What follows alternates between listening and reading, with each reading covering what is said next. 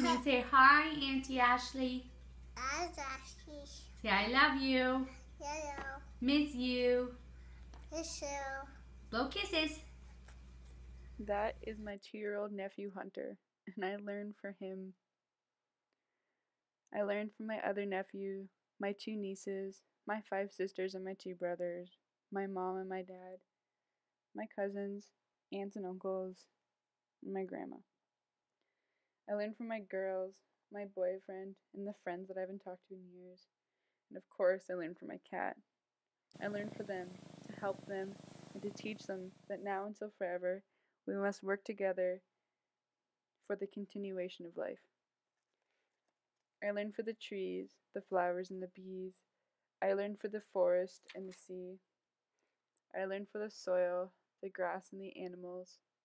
I learned for me.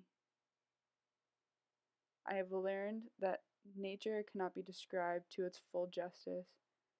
I have learned that the way to understand nature is to feel it by opening your mind, your body, and spirit.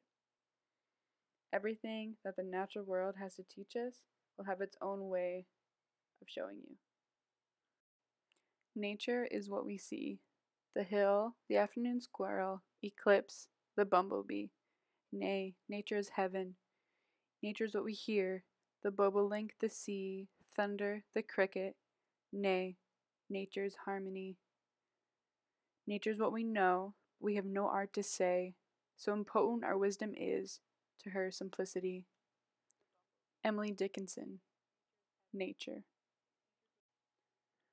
I have learned to not take things for granted, especially the natural world. I've learned to fight for the environment and protect it with my life. I do not only learn for my loved ones, but also fight for them. I fight so my nephew can grow up to experience a natural world and learn to love it, just like I had the opportunity and honor of doing. For as long as I can remember, nature has always been my friend. Fishing has always felt like I am touching the red blood cells in the water veins of our mother, the earth. Kayaking and boating have always brought me close to her children, the water snakes, the loons, and especially the beavers. Hiking has brought me close to her mind and spirit as she lets me know how she is feeling through the wind and the sun. Camping has brought me close to her as I can't help but to feel safe. She is my family, she is my love. She is my teacher. She is my home. She is my nature.